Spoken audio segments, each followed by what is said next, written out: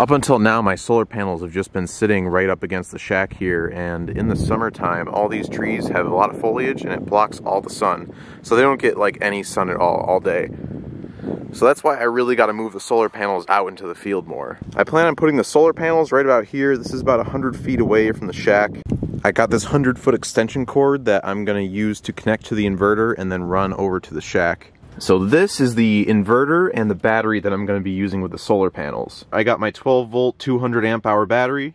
This is a lithium iron phosphate battery and it was the cheapest one I could find on Amazon at the time. It's the inverter's job to turn the 12 volts from the battery into 120 volts like how you have in your house. This being a pure sine wave inverter is very important too because I'm going to be running all of my electrical appliances and my computer and such, I want nice clean power. I'm making the structural frame for the array out of 2x4s because it's the cheapest possible building material I could think of. The 2x4s aren't even treated either, but I don't expect to keep this for a million years. By the time this were to fail, I would probably use the solar panels on something else or build something better. It would actually be a lot better if it was further out in the field, but after about 100 feet with 120 volts, unless you're using super thick, expensive wire, you would run into voltage drop problems. So you'd start having a lot of losses by the time the power actually gets to you.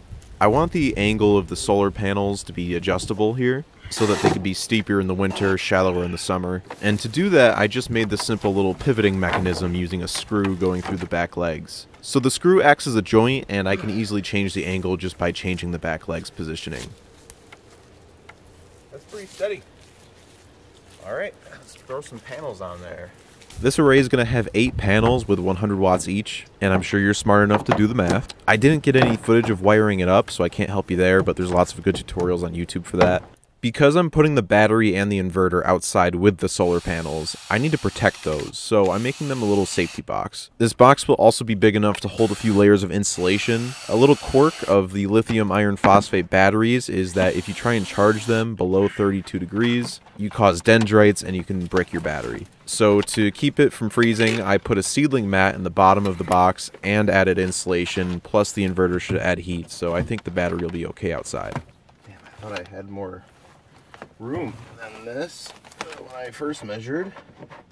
All right, here's the finished array. I'd like to replace these two solar panels because they don't match, and if you don't match solar panels, that's not great.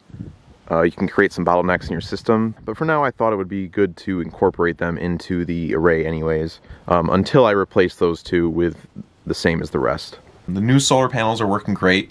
Uh, I only have 800 watts, which really isn't that much solar. I'll probably be adding more to the solar array later on. But that's all I got for you guys right now. Uh, see you guys next time. I think up next is going to be the shower. Do drugs, drive fast, leave the matrix. Bye.